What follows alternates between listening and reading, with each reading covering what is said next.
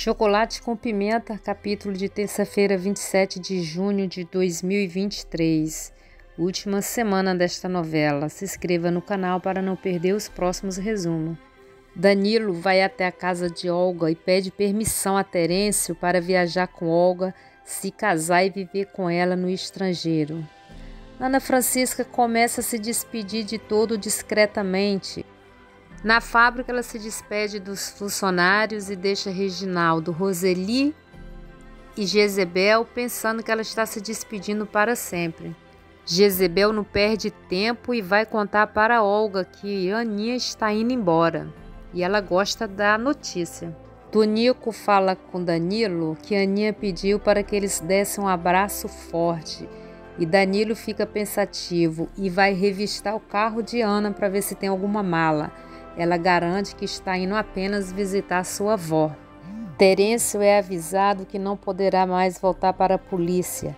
Peixoto vira delegado definitivo e Terêncio parte para cima dele, agarra o pescoço dele e é contido pelo policial. Guilherme Bernardo leva Danilo até o Peixoto para que ele confesse que trocou os quadros. Depois de muito insulto, ele confirma para Danilo que trocou os quadros Danilo, que ainda não acredita, eles levam Danilo até o palhaço para que ele confesse que pintou o quadro de Ana Francisca. Márcia conta para Timóteo que está grávida e ele fica nas nuvens de tanta felicidade. Danilo vai até o circo com Peixoto, Bernardo e Guilherme. O palhaço confessa que pintou o quadro a pedido de Bárbara e de uma moça morena bonita e que era só para uma brincadeira.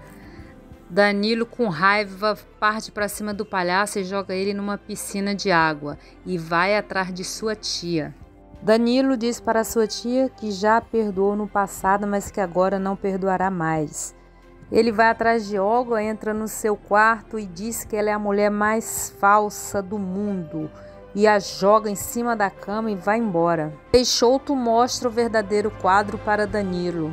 Triste, ele diz quanta injustiça ele cometeu. E Guilherme diz que Ana Francisca está partindo com Miguel de balão e Danilo parte para o sítio. Quando Danilo chega no sítio, a avó dele mostra que o balão já está no céu e ele no chão fica gritando por Ana Francisca. Não se esqueça de se inscrever no canal e até o próximo vídeo.